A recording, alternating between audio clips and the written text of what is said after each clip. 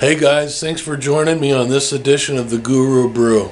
If you're like me, you've wanted to play around with hosting your own web pages on an extra computer that you might have at your house. The problem with doing this is a lot of times internet service providers, unless you give them some more money, is they block the ports that you need to run the web server, such as port 80. Well, once you've hit this roadblock, it's over and you can't do it. Well, on this edition of the Guru Brew, I'm going to teach you how to forward around port 80 so that you can use available ports that still are open on your uh, IP and go ahead and host that web page.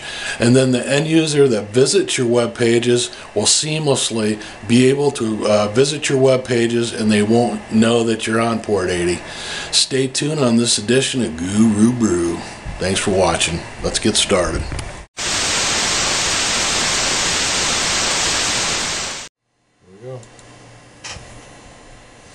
Okay, we're at my computer and there's about three to four steps to um, doing this. The first thing you want to do is decide on what port that you would like to go ahead and use as your web server port. Being this exercises that you're um, trying to get around using port 80 because it's blocked, we need another alternative. Some of the most common ports that others have used are 8080, 8081, 8082. And the first thing that you're going to want to do is open those ports on your router and make sure that they are available for you to use. On my computer, if you go ahead and you open up your um, web page to your router, I'm going to do that now. Now keep in mind that my router settings are going to be different from your router settings and methods to getting around are going to be a little bit different. So just keep this in mind. You might have to consult your uh, router manual to figure out how to get into it. Uh, I'm putting my password into my router.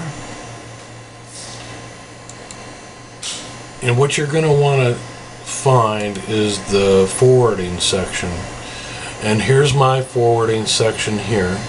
And if you noticed, I've put in 8087 to 8087 I want to use protocol TCP and UDP both active and I've got them set for machine number 50 now the way that um, you know what machine number to put in here can simply be achieved by going to start. Now this would be on the web server itself. You'd go to start network places uh, view network connection and then on your local area network inside your network connections you can right click and you can go to status. And this works on uh, Windows 7 too.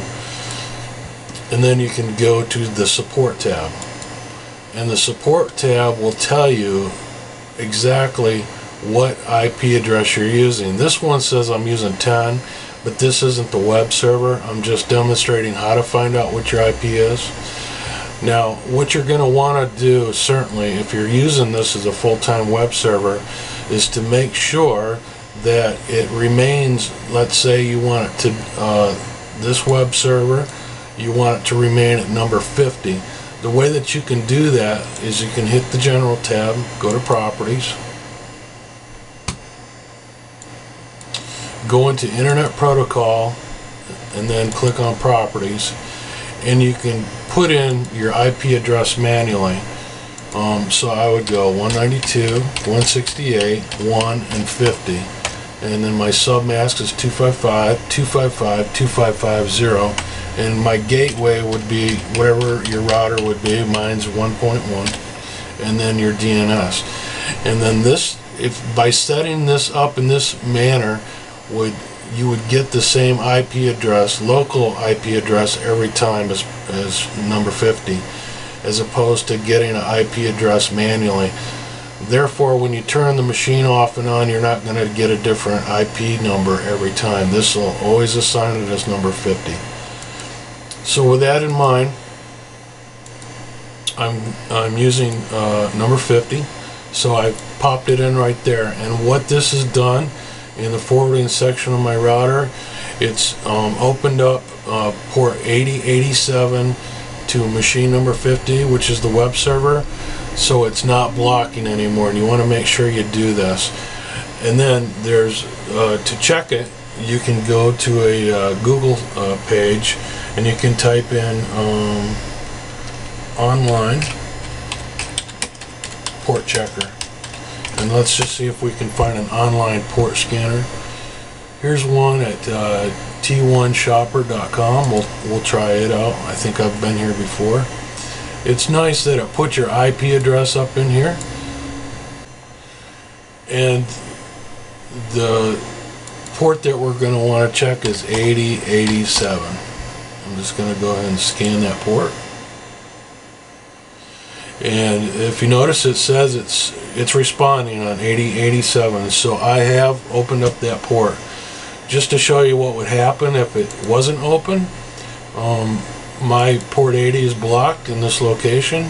So if I put in port 80 here and I scan it it's gonna come back and tell me that isn't responding so this is a surefire way to make sure that your um, your port is open and that you've unblocked it from the router settings. That's the first step. After you're sure that the port is open, your selected port is open, and that you've assigned an internal IP address to your web server, you're able to continue with the next step. The next step is to open Apache um, that is found on your web server and to change the configuration files so that you're using the new pound uh, port.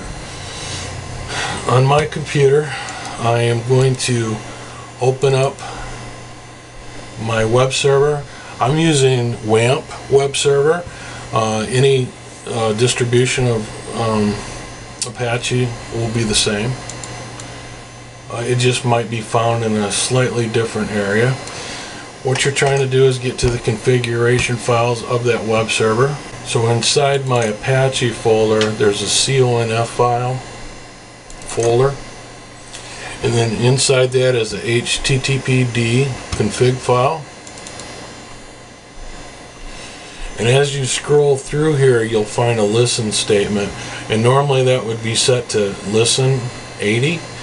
Uh, we're going to go ahead and change that listen statement so that it's reflecting on the new uh, port that you're going to be using. Uh, again, in my case, it's 8087. So I've typed 8087 in here, and then you're going to go ahead and save that. Now make sure that you do at this point after you've saved it is to restart your web server because the new port changes won't take effect until after you've restarted the server.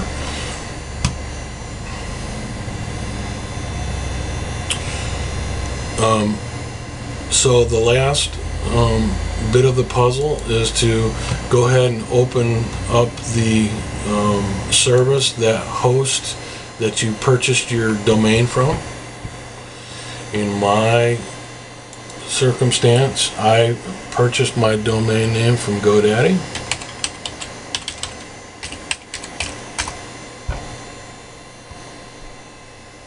Log into your account. Now, even if you're not using GoDaddy, you're still looking for the same terminology. I'm going to launch my domain manager. I'm selecting the domain that I wish to use with this web server. And then once you get to this domain information, you're looking for the forwarding settings, which are located right here. You want to click on manage. And um, for this section, you need to tell it your IP. Um, and if you do not know your IP, you can go to a Google page and type in what is my IP and Google will come back with your number. You can just highlight that and copy it. Go back to the um, hosting forwarding settings, type in HTTP colon back or forward slash forward slash your IP number and then a colon and then your new port number, and mine is going to be 8087. So I have HTTP colon forward slash forward slash my IP number colon and then 8087 and click OK to take that. I'm not going to click that because I've already done it. Now this may take up to one hour or two to um, propagate through the system. Once it's set up, you should be able to go to a web uh, browsing um, prompt and type in your domain name and you should get your test page. Now make sure that you have a test page index PHP or HTML page ready and um, in my case I've got this PHP info page ready to go. And there it is. I'm officially um, seeing my pages hosted from the little web um, server over in the corner. So I've done it. I hope this makes sense to you. Give it a try.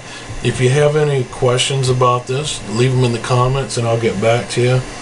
Um, I hope I've made it clear enough on how to handle this. It's not hard to do. Um, to recap again what you want to do is find an available port that you can host on. 8080 is common, 8081, 82, 83, that sort of thing. Open the port on the router and then go in and make sure that the, the port is being seen um, by using Google and checking for open ports.